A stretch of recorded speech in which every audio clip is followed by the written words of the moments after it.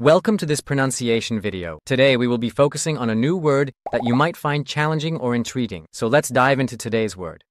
CH00000, which means CH000000 in Russian. Let's say it all together. CH0000000.